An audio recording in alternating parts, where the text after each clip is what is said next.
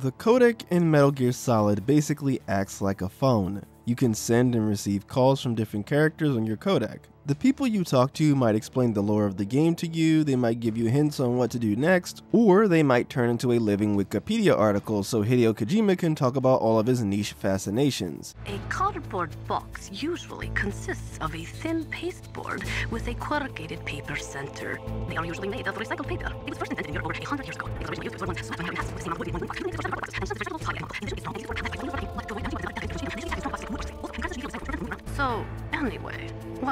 Box? Oh, nothing.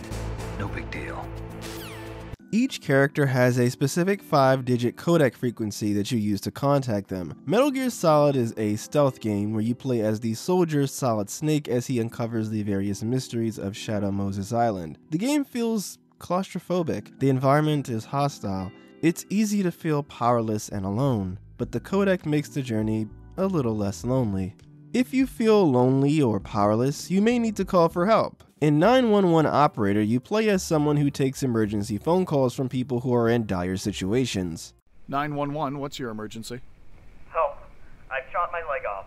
Some calls are bogus, so you have to put in a little bit of work to determine which situations actually need help. Once you get a notification about an emergency or a crime, you then have to send the appropriate emergency services to help. If there's a robbery, the police might be needed. If there's a fire, you'll need the fire department. If someone cuts off their leg, you'll probably need an ambulance. It's fairly straightforward, but as the game goes on, it'll get tougher as emergencies become more frequent. You'll have to dip into the budget to hire more officers and purchase more cars and equipment. The game can get pretty stressful once there's tons of emergencies going on at once. There's a ton of emergencies in the upcoming horror game Home Safety Hotline by Night Signal Entertainment. In this game, you also work as an operator who gets calls from people in need.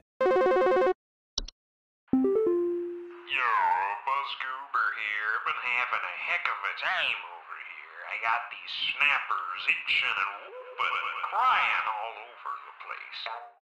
These people will tell you about issues they're having, like weird spots of dirt in their kitchen, or strange sounds, or people breaking into their houses at night, and it's up to you to figure out what the cause of their problem is, whether that be bugs, frozen pipes, or evil parasitic beats. It seems as though as the game goes on, you'll get stranger and stranger calls with people experiencing dangerous phenomena,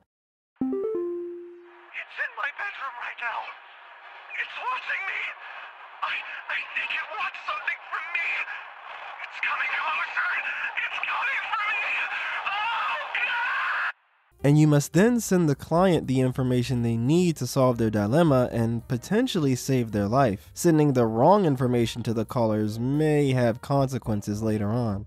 Someone needs to actually connect those phone calls though, so in Telephone Trouble by Galsy, you play as a switchboard operator. Nowadays, when you call someone, connecting to them is automatic, but many decades ago, in the earlier days of the telephone, this was done manually by switchboard operators. They did this by using a cable that connected the jack of the person who was calling to the person that needed to receive the call. In telephone trouble, it is now your job to connect the cables of callers and receivers. Each phone has a code with a letter and a number like A5 or E2. You take these wires and you have to plug each end into the appropriate place. You gotta be quick though, because there's only a limited time to connect the call. Sometimes the game won't tell you what the code is of someone who's on the phone, so you'll have to look them up in your book. Those with a good memory can connect calls between people faster by remembering each person's code. Speaking of memory, it's a good idea to save often so games don't forget your progress. Earthbound makes you save by using phones. The person you call is your dad. No one knows what he looks like. Even in circumstances where you'd think that he would appear, nope,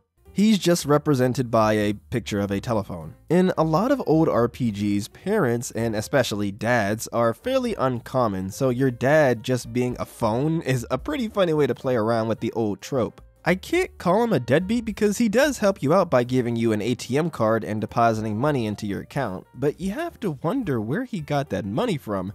Because if you talk to one of your neighbors, apparently he owes your neighbor some money. But hey, I'm not asking any questions because he's doing me a favor by letting me save my game for free. Well, unless you use a payphone. In the early Yakuza games, you also use a payphone to save your game. You can use the payphone to store items in your item box as well. Not really sure how that one works. Eventually, the later games started giving you cell phones, and since cell phones are portable, you can save anywhere, which I thought was a pretty cool way to integrate modern technology with a more modern saving method. Even though you can use the cell phone to save, you can still save at payphones if you're feeling nostalgic though. Eventually, as cell phones became more common in the real world, game developers realized they should probably give the characters in their games cell phones too. Phones are usually a way for you to be contacted by other characters who'll give you information or tell you what to do next. And of course, if your character has a phone in a video game these days, the phone will be sure to have a camera. Photo modes have become the norm for AAA games, even if your character doesn't have a phone camera.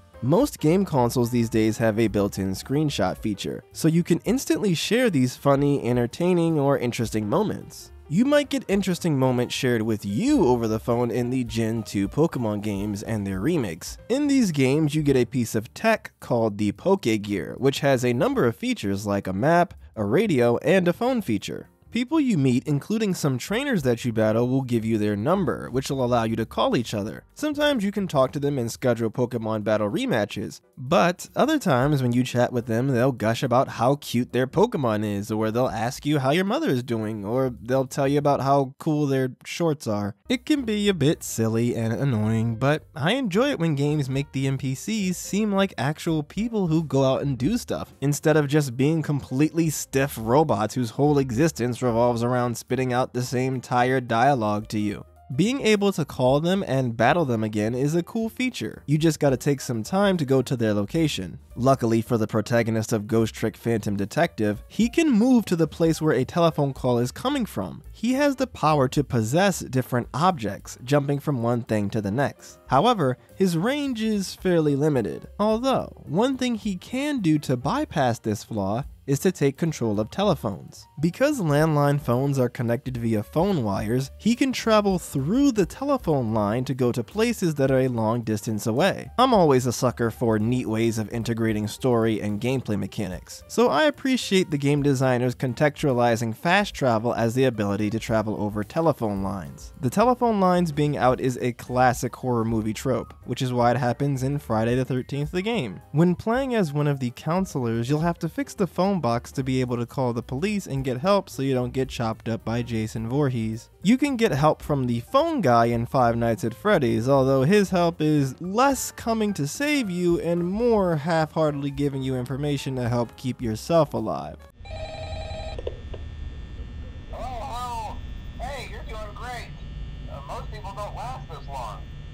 I mean, you know, they usually move on to other things by now. Uh, I'm not implying that they died. That, that, that's not what I meant. This nameless guy calls you during your night shifts working at Freddy Fazbear's Pizzeria. He's an experienced employee who gives you various tips about how to survive there in a very dry and almost uncaring way. He's a bit awkward, but at the end of the day, it is nice to have him around and not be completely alone with a bunch of killer animatronics. Speaking of killers, you play as one in Hotline Miami. You get calls from various people telling you to do things like go on a date with a girl or babysit some kids at a specific place and time, but it's all just a front. In reality, those places and times are where you're supposed to go to take out some targets. The game is a gory acid trip that I wouldn't recommend for the faint of heart. But at least at the end of missions, you get to talk to your friend who works at the corner store, and the pizza spot, and the video shop, and the